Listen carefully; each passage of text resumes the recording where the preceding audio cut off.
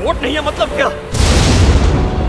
मुझे अभी इसी वक्त इसे मालकनगिरी हॉस्पिटल पहुंचाना है।